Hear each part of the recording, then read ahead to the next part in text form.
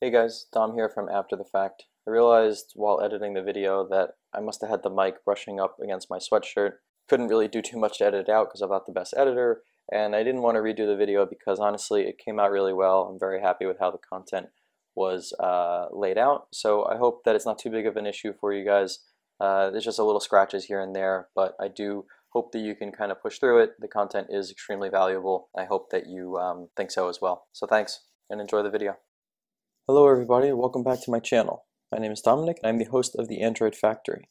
The last few episodes we've talked about converting our simple application here that has two screens to the Jetpack navigation single activity architecture uh, pattern pushed by Google. So at the moment we have a activity here that just has a page list of characters and then we click on a character and we see the details for that particular character. If we go ahead and just uncomment these intent filters here and comment this one out. We have made a little bit of progress here by creating a nav graph activity that does have our nav host fragment here inside of its layout. And then we do have two uh, fragments here. As you can see, this is the detail page. And if we go back, this is the character list page, which is implemented as a simple fragment, and then we again navigate forward. So if you've missed any of these uh, little episodes recently, I'll put a card in the top right so you can go ahead and get caught up, but we're just going to basically go ahead and continue our implementation here. So in the last episode, I actually said that we needed to have a reference to the activities nav controller. However, inside of a fragment, you can simply call the find nav controller here. This is just a little bit of an extension function that comes with the dependencies that we've added, and it's just a way to essentially get the same reference to the activity nav controller that's defined here. So we no longer need to uh, keep that as a global variable, um, and we can just go ahead and just you know, keep that in line and, and do what we will with it. But now we're here to kind of update our list fragment and basically form the implementation that we have in the activity at the fragment level. So I'm just going to get rid of this on resume so that we stop bouncing ourselves to a new fragment. Uh, and then inside of our on view created here, we can basically set up the, the fragment as if it were the activity. Um, so I'm just going to go ahead and just copy this Let's see how much we can get strictly from just copy and pasting from an activity to a fragment. Uh, so we take those variables there. We're going to need this function here uh, to basically act as our callback. And then there's also this going on here. Uh, we'll put it inside of our on view created. And then we don't have a find view by ID in there, so we need to call view dot find view by ID uh, because we have a view passed in here as part of our lifecycle callbacks. And then the owner is no longer going to be this for the observer of a live data. We in fragments use the view lifecycle owner, and this is to ensure the lifecycle connectivity between the live data and the actual state of our fragment. So essentially this observer won't get fired if we are in a state that should not be receiving data uh, updates and whatnot. So uh, again, just kind of abiding by MVVM patterns here and best practices to make sure that we are receiving data updates when we can. Uh, I'm going to go ahead and comment this out because we don't need an intent. This is actually, well, honestly, it's where we need to do our little uh, navigation here. So I'm just going to leave it at uh, exactly that, right? Action character list to character detail fragment. Now, if you remember our implementation here, oh, it's gone away, but when we had the character list, you select it and move to another page. We passed in the character ID because that new page needs to make a network call. So we're going to have to pass that information from one fragment to the next, and we can do so with this library, but we'll get into that in a little bit here. So I'm going to go ahead and just delete that, and we now have our callback here for on character selected. We're just going to navigate, and of course the detail fragment isn't built out yet, but we'll fix that over time here. Um, I think the last little bit here is I'm just going to copy this entire layout and we're just going to paste it right here.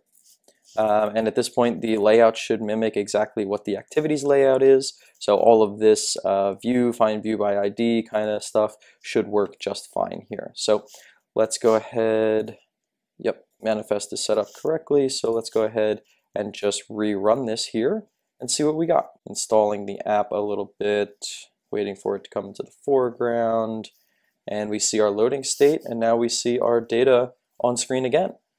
Um, so there is basically one screen converted, uh, if you will, quite simply. And then if we click on Alien Morty here, we go to our detail page uh, that is not implemented at this moment. And then if we go backwards, we still see this page list set up here. So we don't have uh, a tremendous amount of animation at the moment. It kind of just snaps to the next page, but we can also clean that up. Just trying to get the app back to a spot where it was before uh, as far as functionality goes. So this was the list fragment. I'm going to go ahead and do the same thing for the detail fragment, and uh, I'll meet you back when I'm done with that.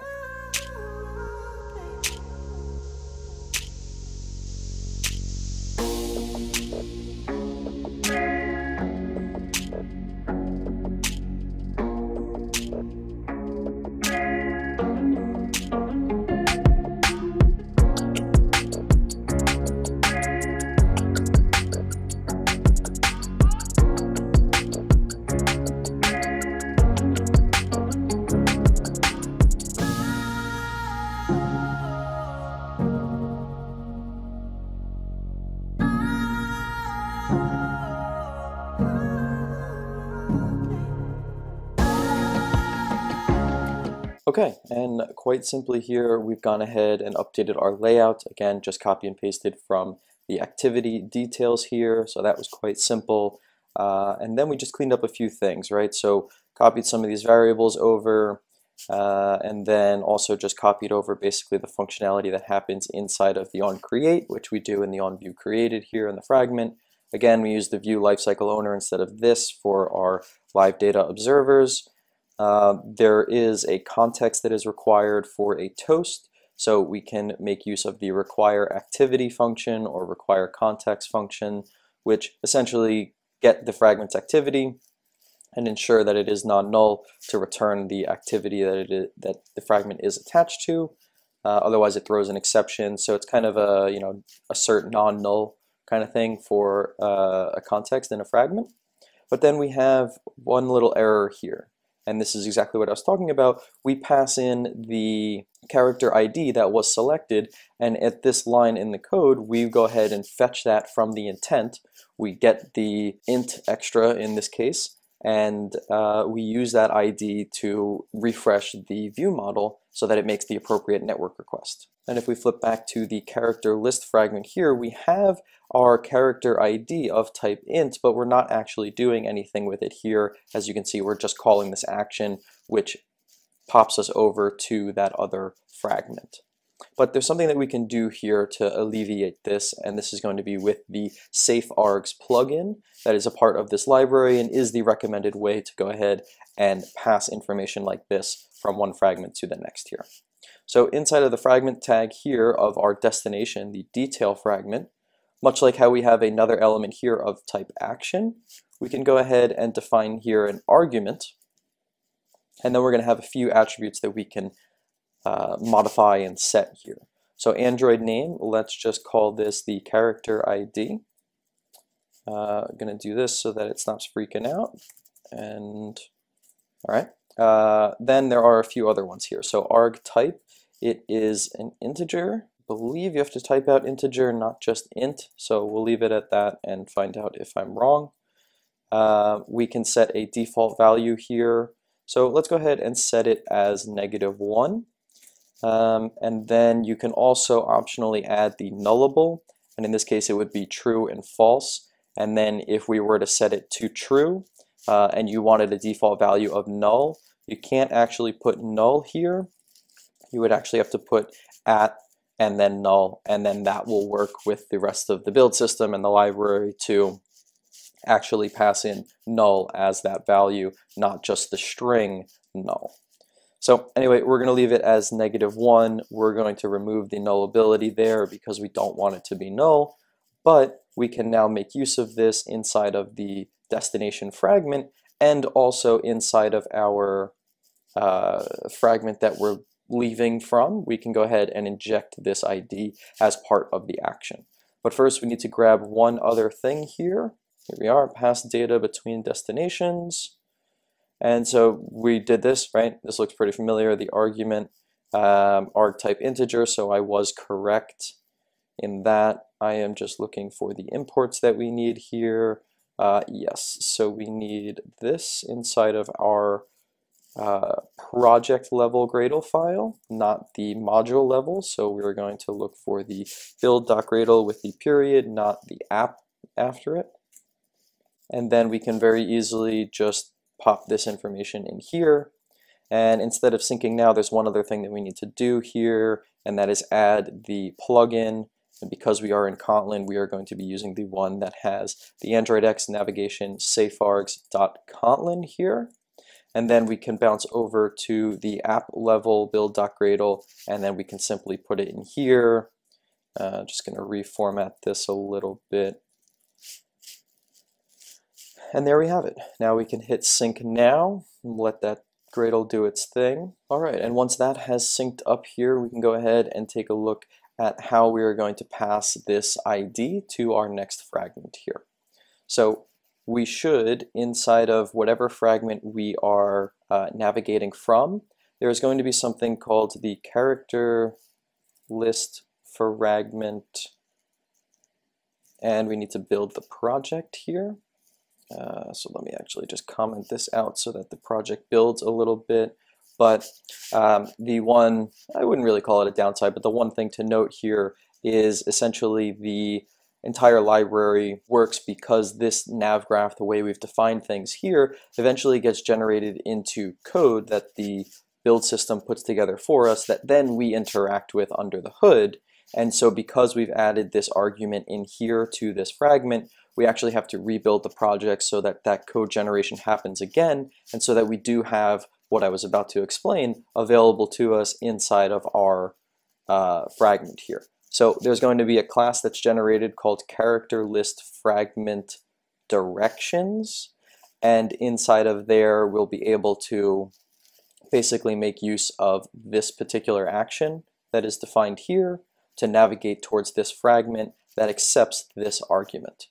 So as soon as this build is complete, we will make use of that. All right, and our build has completed here and we can see the character list fragment directions class that has been generated for us. And then we can see here there is a function that we can invoke that follows exactly the same pattern of the ID of our action. So we see here action character list fragment to character detail fragment and if we control or Command P inside these parentheses, we see a character ID of type int that defaults to negative 1.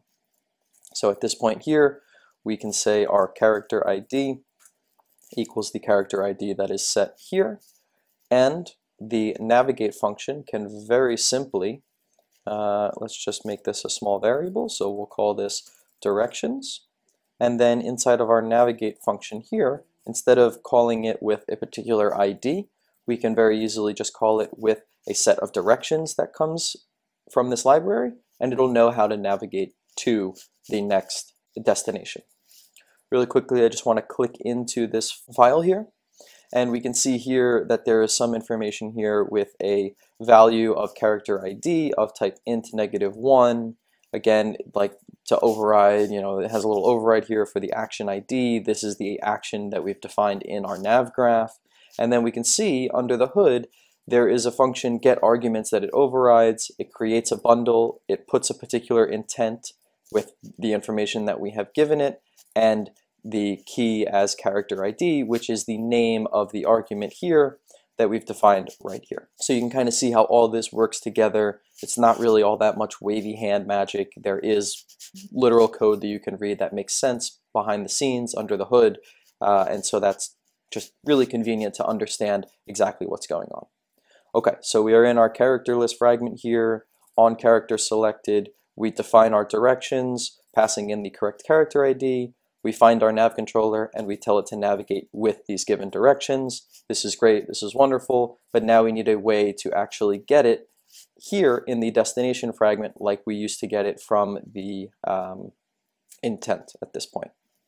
So one more thing that comes with the library here is uh, a way to pull it out. So I call it safeargs, uh, at least the class level variable I call safeargs, and what it is going to be is going to be of type uh, character detail fragment args. Again, this is another generated file that comes with this whole library with the whole build system.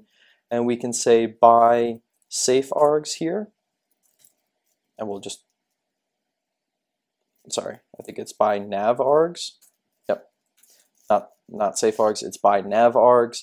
And this is just a way for us to go ahead and actually fetch the arguments that was passed in. Again, that whole dependency that we added was something called safeargs. That's why I just like to call this variable safeargs. That's why this little extension here is by navargs.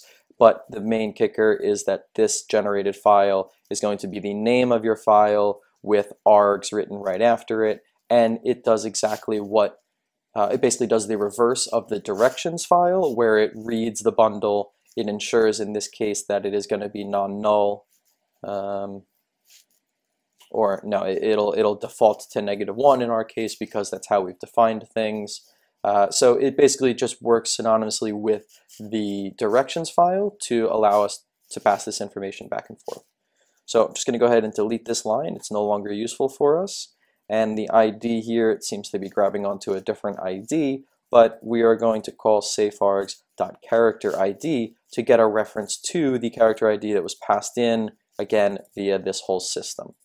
So that should about do it. If we go ahead and run this here, we should see our application functioning how it was previously as far as this entire page list. And then if we click on a particular character, we go ahead and fetch their details. All right, and we are rebuilding here. The application's coming to the foreground. We are now fetching our information. And if we click on Jerry Smith here, we see another loading state again because of the way everything's set up. And we selected the appropriate character. We fetch their information. We have all of their data at this point. So everything seems to be working exactly the same as it was before, and that's quite wonderful. It really was not too difficult of a transition. If we were to go back, we can kind of exactly navigate to you know where we were on this page. So let's see, Chris, nice looking man here. We're going to go ahead and just go back again. We're right in there with the list. Everything is working fine. Now, there are a few little, I guess, touch-ups that we can do here. Namely, like we don't have the back arrow defined here, and we don't have the ability to click that arrow and then go backwards for uh, navigation purposes, we actually have to do the gesture or if there was a physical you know, back button down here, it would also work. But have no fear, we can clean all that up. Everything works very nicely with the nav graph. We can define what are called top level fragments that would not have the little back arrow icon, but then any of the children fragments that we navigate to, we can obviously have the back arrow and go backwards. So we'll clean that up in a little bit, but I want to stop this episode here. I think we've accomplished plenty here um, as far as just transitioning these activities over to fragments and very easily we can just go through one by one and just destroy all of these fragments, all of their, or sorry, all the activities, all of the uh, layout files associated with them and clean up the manifest just so we can kind of condense our project down to how it should be. Um, but yeah, that's about it. So I'm going to cut it here. If you've made it this far in the video, I'd really appreciate a like if you're enjoying the content. Uh, please do subscribe if you notice that you are not, just so you don't miss out on the last little bit here of wrapping up this implementation, and then obviously any of the other content that will be coming out. Uh, this guy looks quite funny. But anyway, I will catch you in the next one, and have a good day. Thanks.